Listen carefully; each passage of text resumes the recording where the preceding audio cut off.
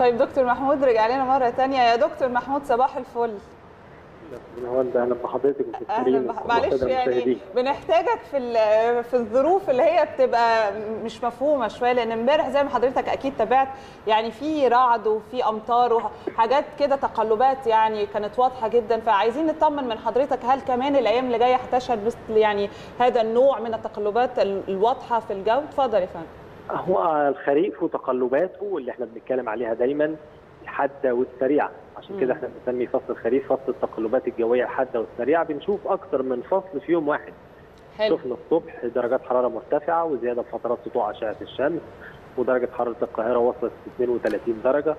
بالليل مع غياب أشعة الشمس وزيادة نسب الرطوبة واختلاف درجات الحرارة ما بين سطح الأرض والجو العليا عمل على تكون السحب الرعديه اللي شفناها الرعد والبرق اللي منتشر واللي انتشر في مناطق متفرقة واللي كان بيصاحب ليها امطار خفيفة كانت متوسطة أحيانا في بعض المناطق وطبعا وفقا للتوقعات والتحديثات الهيئة العامة للأرصاد الجوية اصدرتها مساء امس إنه أوقات الفجر والساعات المتاخره من الليل هتشهد زيادة في فرص سقوط الأمطار والسحب الرعدية وده حصل بالفعل على مناطق متعددة من القاهرة الكبرى.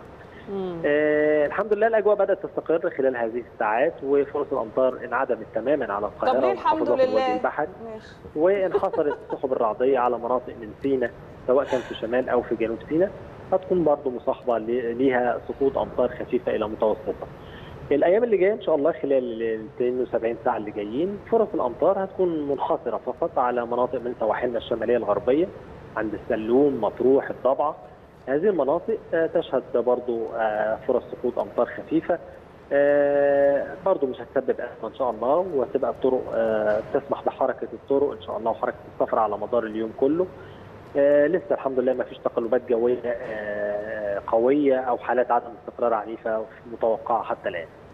طبعا حضرتك عمال تقول الحمد لله الحمد لله. ليه؟ طب ما الأمطار حلوة برضه يعني. يعني لا إحنا بنقول يعني الحاجات اللي تسبب أزمة يعني آه يعني آه في حدود المعقول كويسة طبعا يعني. يعني نطمن والأهالي يطمنوا يطمنوا لأن لسه معرفش حضرتك كنت بتسمعنا ولا لأ. كريم بيتكلم إن هو من يعني الأهالي اللي ما خلوش ولادهم يروحوا المدرسة النهارده بسبب اللي حصل بالأمس والتقلبات اللي كانت واضحة. فالكلام ده يعني مش مش صح إن هو يتم كمان. ونطمن الأهالي في الفترة اللي جاية إن ده مش هيبقى أو اولادهم مش هيبقوا عرضة يعني لأي مشاكل في الجو تمنعهم إن هم يروحوا المدارس صح كده؟ آه طبعا يا فندم وده اللي إحنا قلناه امبارح برضه يعني اتكلمنا كنا في كل مداخلاتنا امبارح وفي التوقعات اللي أصدرناها امبارح قلنا إن فرص الأمطار لا تعوق من حركة الطرق الأجواء هتكون مستقرة ما فيش زحمة مش هتبقى في أزمة.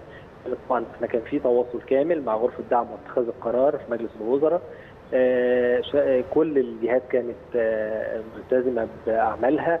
عربيات شفط المية كانت منتشرة في الشارع امبارح من قبل الساعة 11 بالليل استعدادا لسقوط الأمطار. وكميات الأمطار اللي نزلت في ساعات الليل بالليل خالص والصبح بدري كانت كميات الأمطار متجمعة في العربيات وما كانش في أمطار خالص موجودة على الأرض من تجمعات مية. ما فيش كان في تجمع ما كانش في تجمعات مية. والطرق كانت رايقة تماما ما كانش في أي ازدحامات بسبب سقوط الأمطار خالص. كويس جدا. طمنتنا دكتور محمود شكرا لحضرتك جدا على هذه المداخلة. أهو. هو إنذار زائف.